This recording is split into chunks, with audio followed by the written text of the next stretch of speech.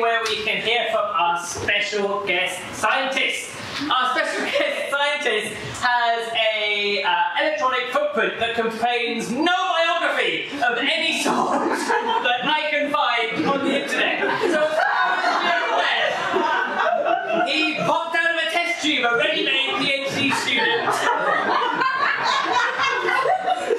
working on fast nano machines and microscopes that to see what they're up to. Uh, he works in the Department of Physics in the groups of Professor Ulrich Keyser and Jeremy Baumberg.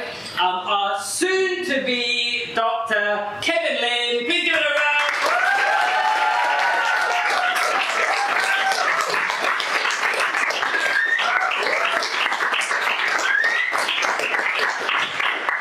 Thanks, James, for the nice introduction. we should go back to the test tube point. Um, there is something to that. Um, so, yeah, I'm going to speak to you a bit about my PhD research and the journey it's taken me on over the past four years, which has been a bit of a long and winding. I guess that's quite normal as far as PhDs go. So, as with many things in life, it started with a proposal. professors and postdoc to a young, innocent PhD student who, not knowing any better, accepted and then suffered for the next. so the idea of the project was to create the first working demonstration of a nano machine. You can think of this as a tiny robot. So we wanted something that would perform a simple task at a really small scale. For example, putting one piece of something and another piece of something together to create a bigger something. So one plus one equals two. Just a simple assembly process. The thing is, besides actually making something that can assemble other objects, you also want a way to look at this. And in the proposal, this was recognized. There was kind of a small mention that, yeah, we'll also do some microscopy. Well, as it turns out, that became basically the whole project. it was much harder than we thought. So why is it so hard to see small things? First, we have to establish how small we're talking about. So if you consider like your hair, the thickness of human hair on the head is typically around 100,000 nanometers. So hair is even something so thin is really big on the nanoscale. Compare this to the thinnest hairs you can find, perhaps the ones on your hand, on your skin, if you look really carefully. The finest hairs that you have are closer to 10,000 nanometers, still pretty big. So the nanoparticles and nanomachines that we're interested in are a thousand times smaller, in the range of 10 to 100 nanometers. You could fit them a thousand times over into the width of a hair. So we need a microscope that can allow us to see inside this really small space. Now there are a few challenges that occur when you go to this length scale. And the main one is that the particles you're looking at are smaller than the wavelength of light itself. So normally, the way that you see something, for example, a reflection in a mirror, you have light that's bouncing off. have light that's bouncing off this flat surface. You can think of the light as tiny droplets or water balloons that are just bouncing off the surface. And so wherever they hit, they simply reflect and convey the information about what's at that position in space. So you basically relay an image of the object, which is quite accurate. However, if the object that's being looked at is much smaller than the light itself, you can think of the light as being a water balloon that hits a small pebble and therefore bursts.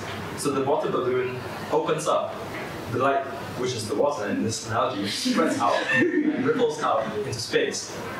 As a result, you don't actually get a clear image of what's going on, but instead just a messy, blurry thing. So that phenomenon, which is called diffraction, gives us what we call the diffraction limit in optics, which is for anything that's sufficiently small, you can't get a clear picture of it. And this is a fundamental limit, which makes it blurry. Now this is a problem if you want to see what a nanomachine is doing, because fundamentally if you think about a nanomachine that's doing some sort of action, that involves changing its shape. But if it's much smaller than the light, then you can't actually see its shape.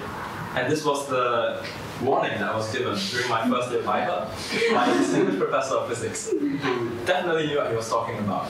However, whether we were foolish, brave, or just didn't know any better, we carried on anyway. So that brings us to the next problem, which is even if even before you want to see the shape of something, can you actually see the thing at all? Because if your object, say this small pebble I'm talking about, is really small, think of it now as a tiny needle, where if you threw a water balloon at it, the water balloon could simply pass through the needle, and the water balloon would maintain its structure, it would not break apart, and it would almost be as if nothing had happened at all. The only traces that you would see would be a tiny bit of liquid that would remain on the needle, which would then break apart and this would be a very, very small scattering component, but most of the light would simply go through as if there's nothing there.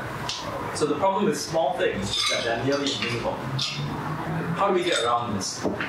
The way is to use the wave properties of light to our advantage. So we can use a phenomenon called interference, where if you bring in an additional wave, let's say that now in my tank of water with a rock, I start to shake it I push the boundary as I push the wall, I create a wave, a ripple that moves outwards.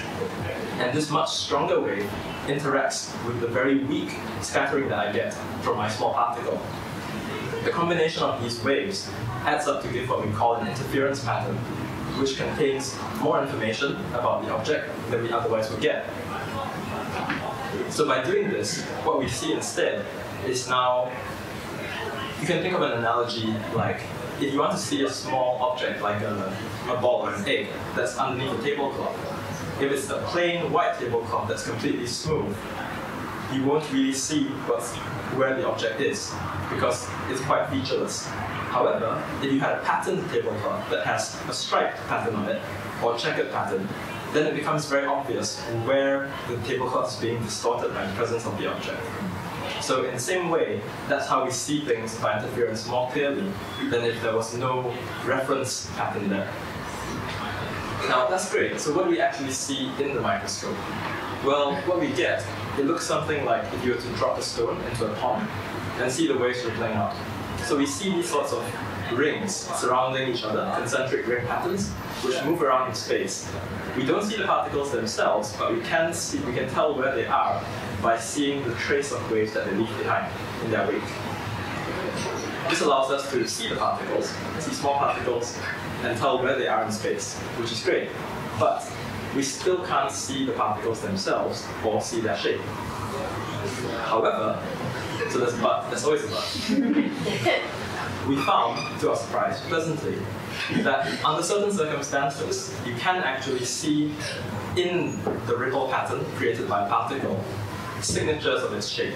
So if you had a round particle versus a triangle-shaped particle, they would create slightly different ripples outside them, which is somewhat surprising, but in any case, useful. So we just ran with it. Um, and having now seen this in simulations, experiments, and hopefully soon finishing verifying in theory, we are quite confident that this is the case. So what that means is that we can now bring it right back to the start with our nanomachines and find ways to design nanomachines that will actually be more easy for us to visualize. So instead of just being a formless shape, we could actually have a way to tell if the nano, nanomachine is flexing or doing some other motion by strategically designing it. So that's basically where I got to in my research.